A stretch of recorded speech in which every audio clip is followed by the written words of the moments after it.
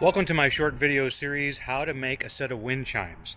What's special about this series is that I'm going to make these wind chimes out of materials that I already have in my home, and I'm going to use the tools that I already have.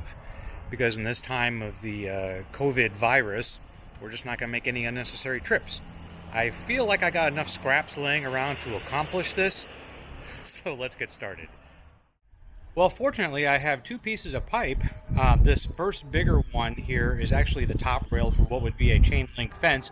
I have no idea why I bought that many years ago, but I still have it. And uh, that, of course, is going to make a big, nice wind chime. Then the smaller one is electrical conduit.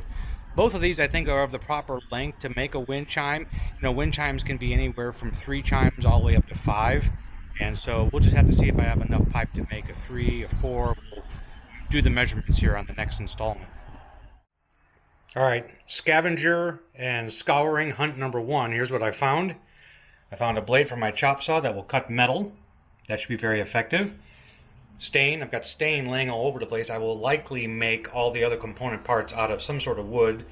Uh, it remains to be seen whether I have any lacquer or any polyurethane laying around, but I have a feeling I do. I've had this spool of wire forever. I don't even know why I have it. It may prove to be too stiff of a gauge for this project, but we'll see.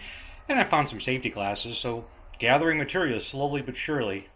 And there's my chop saw. I'll probably move the saw and the table it's on to the outside or make some sort of temporary stand outside to cut the metal when it comes time to do that.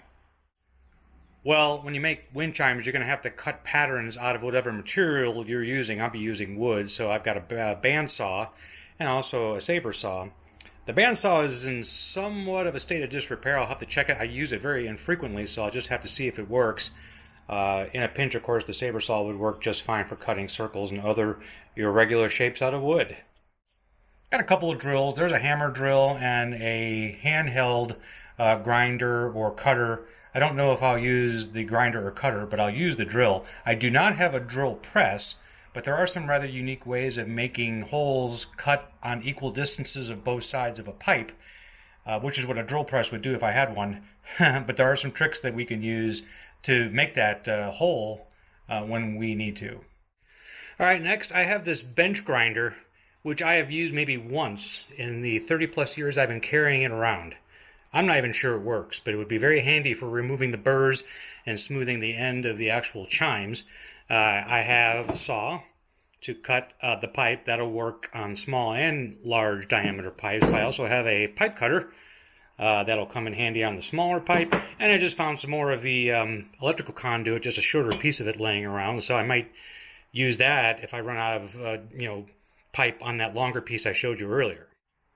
Well, that about does it. I haven't collected everything. I haven't looked for things like eyelets, various pieces of hardware, paint, those type of things. I'm sh- files. That's another one. I'll find all that. I'm pretty sure I have it, and it wouldn't show up on camera very well anyway. So the next step for me is going to be thinking about what kind of wind chime I want. Now, fortunately, there's a gentleman. His name is Lee Hite, who has put together a website that is just about comprehensive in terms of how to build just about any kind of wind chime you desire. He's got, uh, for instance, a spreadsheet you download. All you have to do is enter in the inner and outer diameter of the pipe, the type of metal, and it'll spit out the exact length for all the musical notes you could possibly want. So why reinvent the wheel, I say.